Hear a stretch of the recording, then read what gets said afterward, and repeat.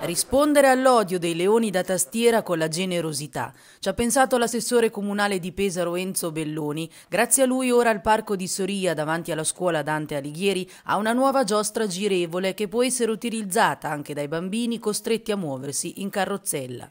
L'assessore l'ha voluta donare in particolar modo a Sofia, al suo fianco anche sabato scorso durante l'inaugurazione, assieme ai genitori.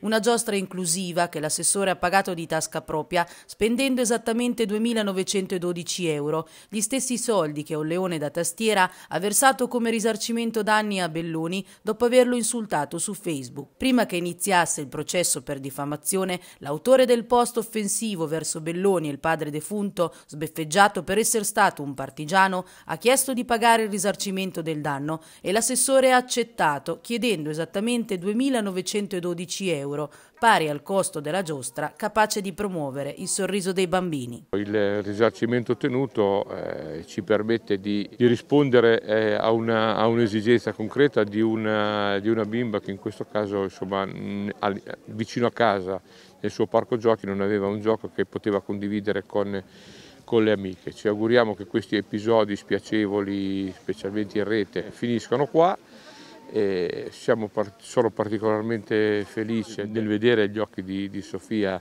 felice per questo piccolo dono. La beneficenza e la solidarietà vanno reclamizzate perché devono servire come buon esempio. E non è l'unico perché sono due per fortuna i giochi inclusivi di questo parco, il secondo, anzi il primo installato è il dondolo, il dondolo al cesto.